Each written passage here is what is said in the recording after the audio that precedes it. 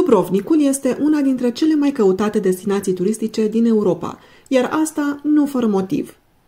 Orașul oferă o combinație unică între istorie, peisaje de vis și experiențe culinare. Plus că aici s-au făcut filmările pentru celebra serie Urzela tronurilor, iar asta se vede la fiecare pas. Însă, pentru a vă bucura pe deplin de acest loc incredibil, este important să evitați anumite greșeli comune pe care turiștii le fac în mod frecvent. În acest video vă voi spune ce să nu faceți în Dubrovnik pentru a avea o vacanță de vis.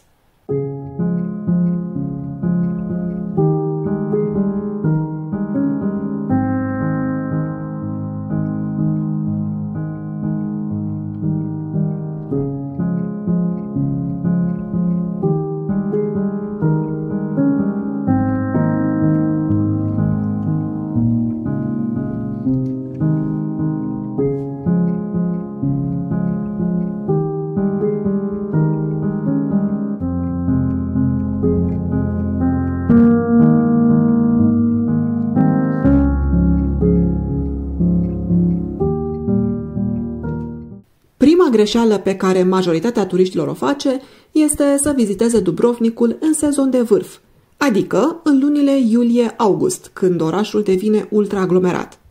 Străzile devin pur și simplu înțesate de turiști, mai ales când vin și vase de croazieră, care sunt multe, iar prețurile cresc considerabil. Recomandarea mea este, dacă se poate, să vă planificați vizita în extrasezon, în lunile de primăvară sau de toamnă, când orașul este mult mai liniștit și experiența mult mai plăcută. Dar să nu vă imaginați că atunci veți fi doar voi pe acolo. Noi am fost în septembrie și tot erau foarte mulți turiști. De asemenea, fiți atenți la capcanele turistice din centrul vechi. Majoritatea magazinelor vând suveniruri la prețuri exagerate.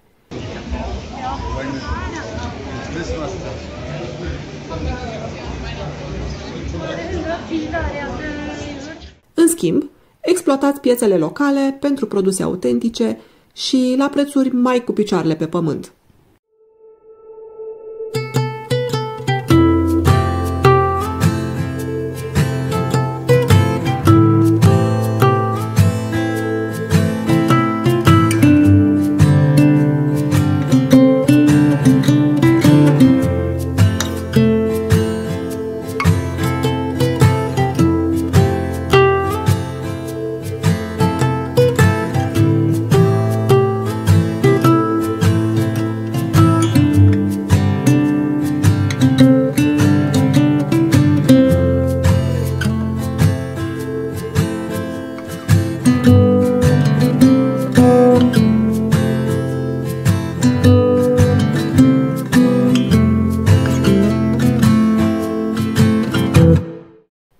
Nu e tot. Dacă vă place mâncarea, mai am câteva sfaturi importante pentru voi. Când vine vorba de mâncare, mulți turiști fac greșeala de a alege primele restaurante pe care le văd în cale, de obicei cele din zonele foarte turistice. Evitați-le pe acestea pentru că sunt foarte scumpe, iar mâncarea este de o calitate mai scăzută. În schimb, explorați restaurantele locale, ascunse, pe străzile mai mici, chiar dacă aveți de urcat niște scări pentru asta. De ce? Pentru că acolo veți găsi preparate autentice la prețuri mai bune. Dacă sunteți curioși să aflați mai multe despre gastronomia croată, am un clip pe canalul meu despre exact acest lucru, bucătăria croată, unde povestesc despre mâncărurile tradiționale și ce să alegi din meniu. Iar dacă vă pregătiți să explorați orașul pe jos, aveți grijă. Străzile din Dubrovnik ascund un pericol pe care mulți turiști îl ignoră. Străzile din centrul istoric al Dubrovnicului sunt pavate cu piatră. Aici vedem celebrul stradun, iar acest lucru le face foarte alunecoase, mai ales după ploaie. Mulți turiști nu sunt conștienți de acest aspect și aleg să poarte încălțăminte nepotrivită. Evitați încălțămintea cu talpă netedă și alegeți-o pe cea cu aderență bună, care să vă ofere o siguranță pe aceste străzi, dar și prin cetatea Dubrovnicului. În plus, nu încercați să circulați cu mașina prin orașul vechi. Este practic imposibil și nu merită efortul. Folosiți transportul public sau explorați pe jos, dar cu încălțămintea potrivită. Luați în calcul că aveți de urcat și coborât multe scări și de explorat o mulțime de străduțe înguste și întortocheate.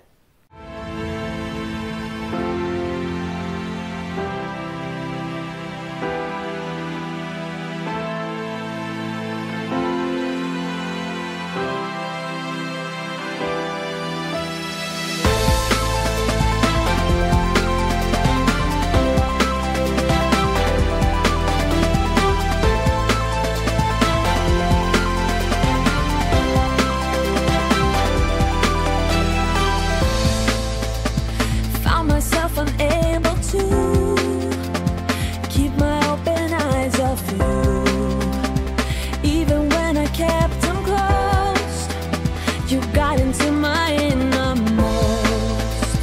So afraid to fall into the open arms of you.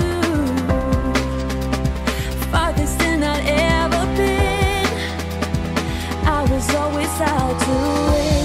I tried every loophole to never have to follow. Keeping my heart closed. I thought I knew I get myself.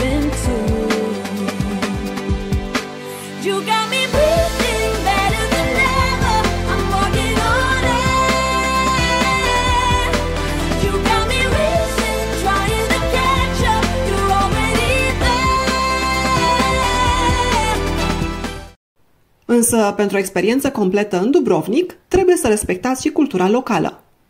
Dubrovnik este un oraș încărcat de istorie și tradiții. Pentru a evita situații neplăcute, este important să respectați cultura locală. De exemplu, atunci când vizitați bisericile sau alte locuri sacre, asigurați-vă că sunteți îmbrăcați corespunzător, acoperindu-vă umerii și genunchii. De asemenea, evitați să faceți zgomot excesiv în locurile publice.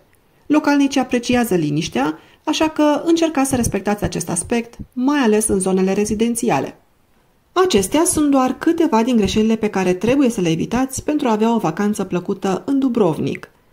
Dacă vreți să aflați mai multe despre ce puteți face în Croația, nu uitați să vizionați playlistul meu cu clipuri din diferite zone ale acestei țări pentru a vă alege destinația potrivită. Sper că aceste sfaturi vă vor ajuta să vă bucurați la maxim de această destinație incredibilă. Acum vă spun la revedere și vă aștept cu drag în vlogul următor din aceeași serie dedicată Croației.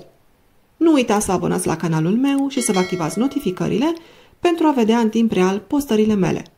Toate cele bune și ne auzim curând! Thank you.